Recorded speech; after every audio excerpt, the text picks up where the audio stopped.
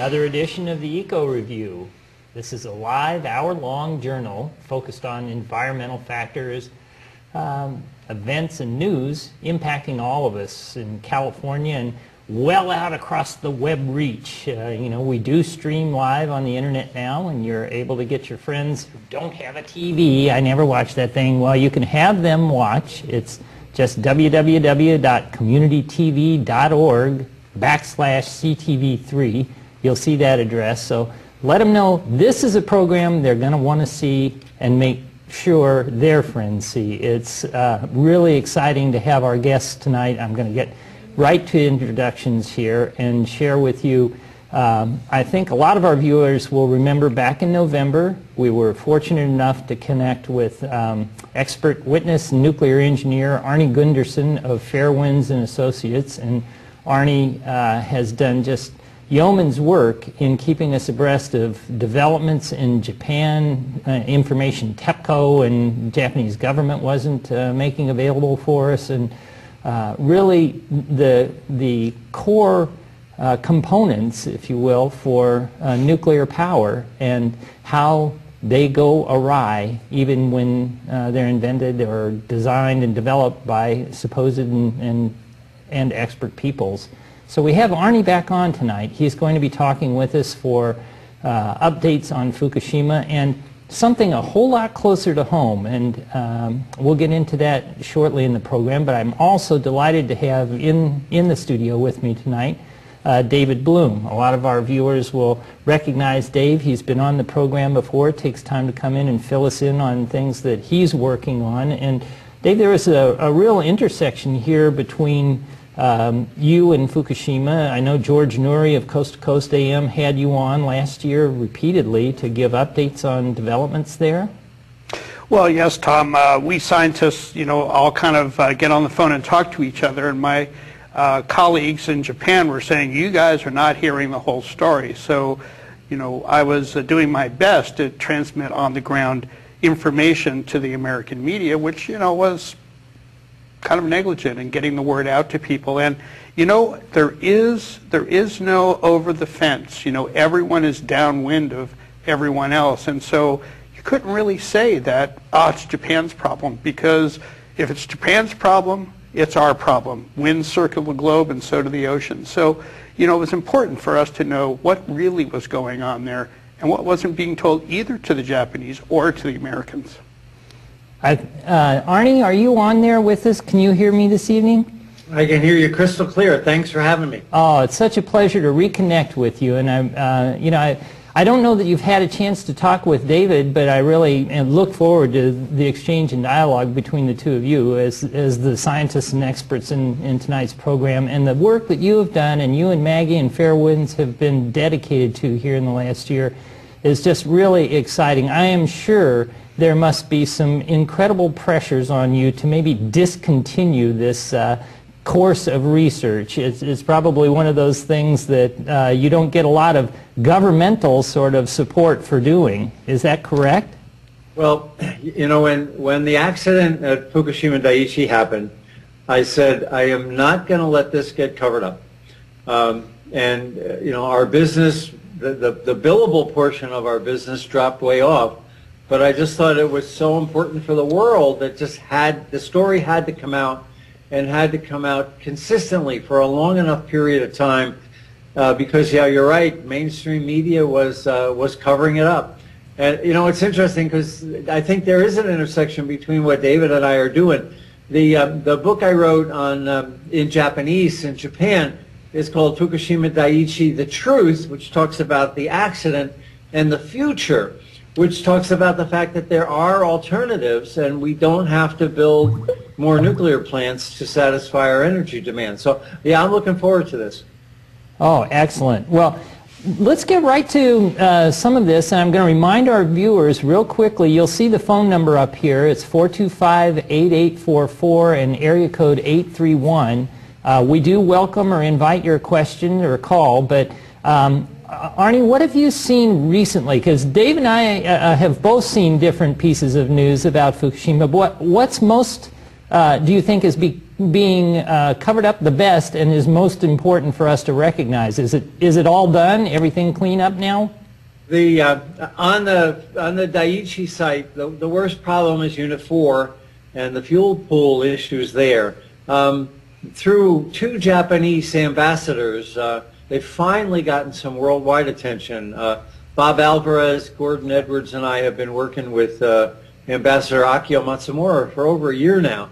And finally, uh, the world understands that uh, the, the Unit 4 um, actually uh, still has the potential to create an even worse accident than what we experienced a year ago. So now Tokyo Electric is finally beginning to say um, what we've been saying now for over a year, and that's that you've got to get the fuel out of Unit 4 just as quickly as possible. Unit 3 isn't too far behind. It's kind of interesting. Nobody talks about Unit 3, but it had a one-third full core offload, so there was uh, quite a lot of hot nuclear fuel in Unit 3's fuel pool too. So, no, that the site isn't out of the woods. But the, the other problem, of course, is uh, Tokyo Electric doesn't have the money, and the Japanese government is drizzling it out, as opposed to admitting that this is going to be a half a, a, a half a trillion U.S., which is something on the order of 30 trillion yen or something like that. It's a big number. Um, the um, uh, instead of admitting it and, and, and having the Japanese people know that in the long haul they're going to spend an enormous amount of money cleaning this up. They drizzle it out every six months. They say, well, here's another uh, 20 or 30 billion. But in fact, it's going to be a huge amount of money that the Japanese are going to have to eat. And the last thing is the um, contamination throughout Japan um, on the ground. Mm. We're finding um, house contamination in the form of household dust at extraordinarily high levels.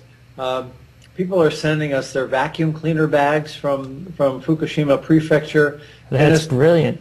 As far as a uh, 100 kilometers or 60 miles away, we're finding tens of thousands of disintegrations per second in a, in a kilogram va vacuum cleaner bag.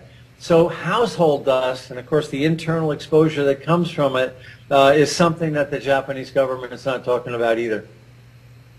Yeah, it, it is electrifying to think that uh, this has been dismissed by the media. You don't see that as a concern anywhere, but uh, there were a couple of things you mentioned earlier uh, to me uh, today about uh, effects of earthquake perhaps where on, on the reactor uh, itself. And I'm also thinking about something that Dave told me the other day, which was some uh, a story about a boat recently up on, uh, that had come up on Vancouver, Vancouver Island. The yeah. British Columbia coast, yeah. Well, go ahead with the, I'll talk to you about the, the condition of that building. Um, the, the Unit 4, you know, it, it's obvious it's a mess. I mean, if you look at it, it, it blew up. Um, and Tokyo Electric has been saying, no, it's just fine. Although just recently they, um, they've acknowledged that it's, a, uh, it's bulging in the middle. Um, and it's interesting, too, because where that bulge is located uh, indicates it's something called a first mode Euler strut defect. And that means it's likely a seismic problem that came with the, uh, with the initial earthquake or perhaps one of the ones after that. So the, the net effect of this is that the, um, the building has no containment. Um, all this nuclear fuel, hot nuclear fuel, in the fuel pool and is bulging on the sides.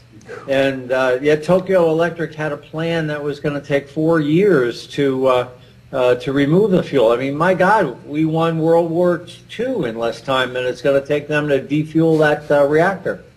Well, you know, as Arnie points out, this pool is already showing signs of, of uh, failure.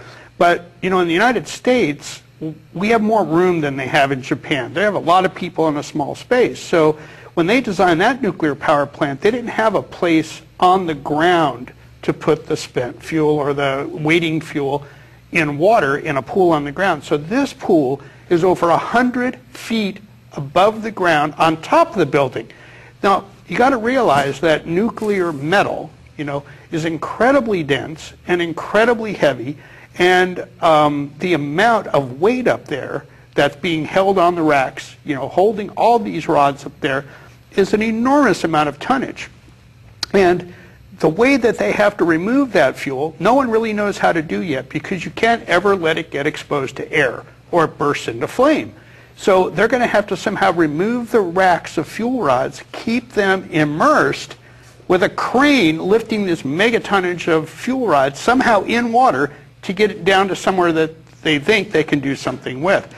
No one has ever done anything like this before. No one really knows how to do it yet. So that's why they're saying, well, it's going to take four years because we don't know how to do it yet. Sounds like we should call David Copperfield or something. He's probably got an idea about how you, you pull off a contortion like that. Is that something that you uh, that they even think about in the design stage of these plants, Arnie? Is that something that, that they take into consideration? Let's put the, the pool above ground. Is that, I mean... Well, there's, um, these, there's 23 plants in the U.S. that have the same problem, but the other 80 do not. So we learned this first generation plant uh, putting that, that fuel way up in the air like that was a mistake. And the remaining 80 plants in the U.S., after we built those 23, have that uh, fuel pool much, much lower and in a much more protected spot.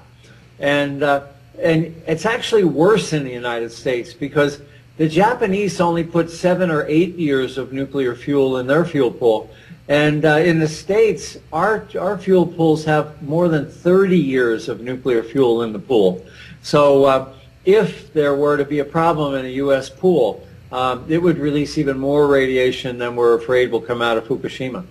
Well, you know, uh, it's interesting. We're, we're sliding the U.S. story in here in a, uh, a bit, and I think a lot of people here in California, guy, it's a beautiful day. We're in summer, you know, the gardens are going, and it's really easy to get distracted at the beach or something. But um, there was, two weeks ago, a really interesting short little AP clip that I, I came across that was talking about, and that's actually why I wrote you, Arnie, and, and uh, was wondering if you'd be available to talk because there was this little clip I'd seen about uh, 1,200 cooling rods being uh, failing at uh, San Onofre. And um, that's where I think we, we should go maybe with the conversation. And we do have a video clip, um, a little uh, experiment that you just ran down there on site. And why don't you tell us just uh, uh, real briefly how you set the clip up, and then we'll go to the clip and share that with our viewers.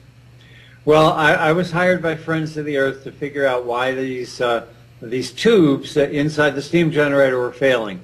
Um, and it's, it's you can see these very complicated engineering drawings and and frankly I thought we needed a better way of explaining what a U-tube steam generator looked like. So we put this video together on the beach and we simulated U-tubes and I got to show how on um, how they were banging into each other and causing the problems that is happening at San Onofre today. Awesome. Well, let's go to that clip and we'll come right back to you uh, as soon as that's run.